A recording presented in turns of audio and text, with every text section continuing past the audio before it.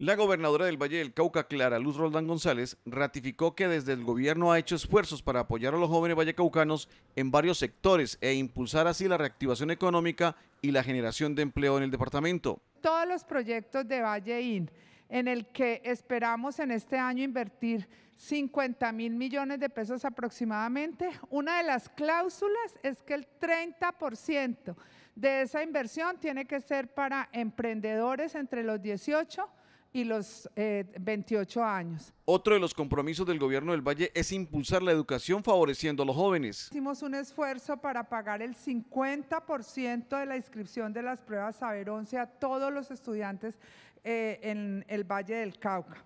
De igual forma, más de 27 mil estudiantes de la Universidad del Valle, es decir, el 90% del estudiantado se beneficiaron con la gratuidad. Cabe destacar que el programa Monitores Culturales tiene vinculado más de 560 monitores, de los cuales el 30% son jóvenes entre los 18 y 28 años.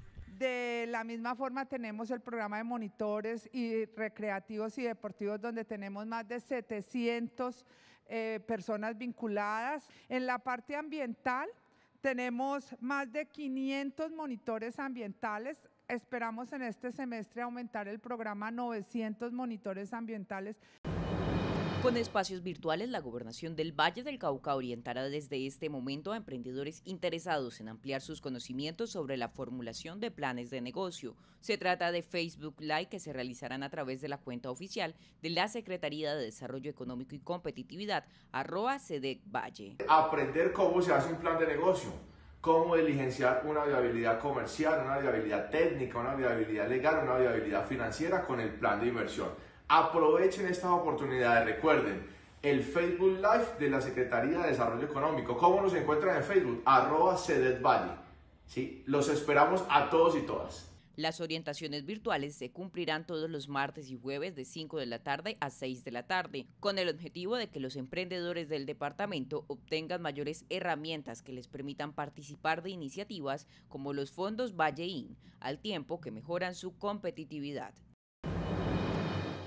Debido al gran éxito que ha tenido entre los visitantes a la Biblioteca Departamental Jorge Garcés Borrero, se amplía una semana más la exposición conmemorativa de los sextos Juegos Panamericanos que realizó Cali en el año 1971. Es una ilustración muy buena, porque así se le da a saber al público y, y a todo el país, no solamente al público, no a todo el país, cuando vengan aquí a la biblioteca a ver lo, que hemos tenido y lo que somos aquí en el Valle, ¿no?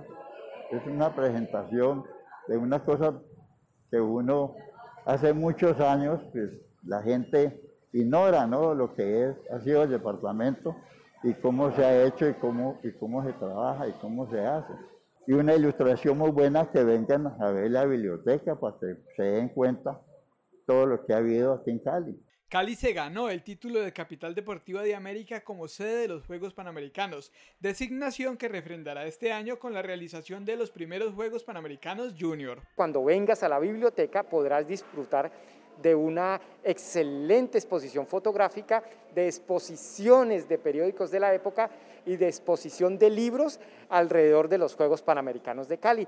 Y de manera virtual, a través de nuestras redes sociales, podrás participar de a menos concursos en los que haremos preguntas, podrás participar de una exposición virtual sobre los Juegos Panamericanos. La exposición conmemorativa de los 50 años de los Juegos Panamericanos de 1971 consta de 10 libros de los Juegos, 59 fotos de exposición, 44 fotos para el juego de memoria y artículos de los periódicos El País y Diario Occidente.